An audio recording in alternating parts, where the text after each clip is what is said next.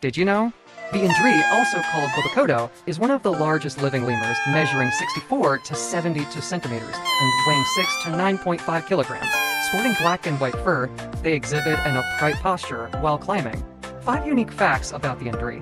Native habitat. The Indri are native to Madagascar, living in rainforests at elevations from 600 to 1,500 meters above sea level. Feeding habits. The Indri are herbivores, mainly consuming leaves, flowers, and fruits, displaying selective eating habits for nutrient-rich plants. Arboreal traits. Like other lemur species, Indri lives in trees arboreal. They have strong and long legs to jump between branches, as well as claws to get good grip on trees. Social groups. Indri lemurs live in small family groups and communicate through distinctive singing sounds.